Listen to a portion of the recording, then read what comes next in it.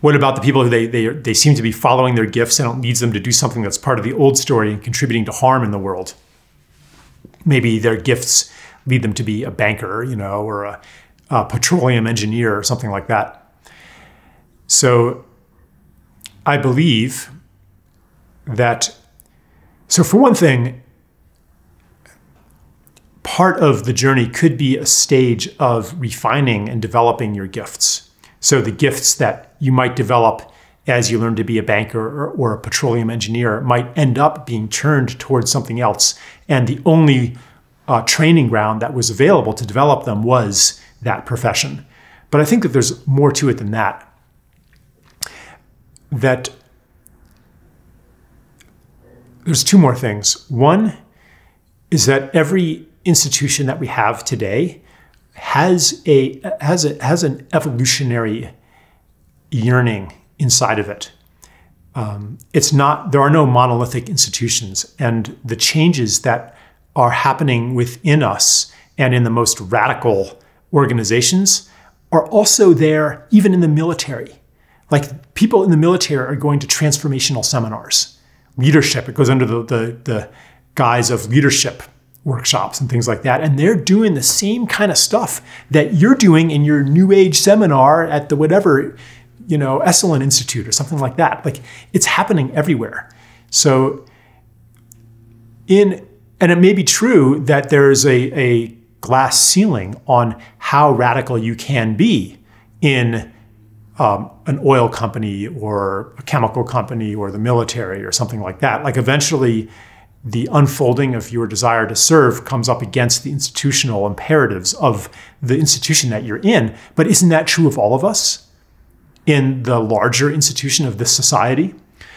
So part of it is um, trusting the guidance of that's placing us uh, in a certain environment.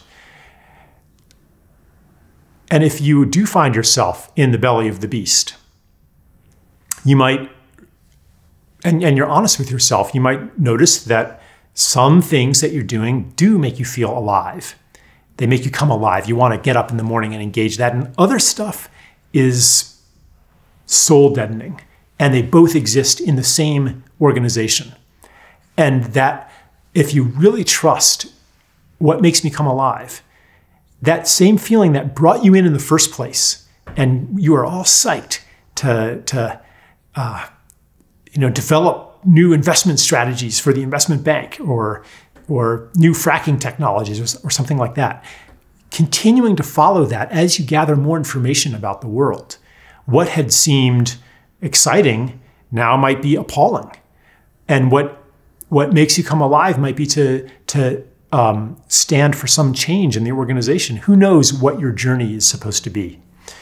But to answer the question in short, no, I don't think that anybody has been put here on earth to, at this point in history, put here on earth to uh, bring fracking to more environments than ever before put here on Earth to uh, complete the extermination of the bluefin tuna. Like, no, nobody is here to do that.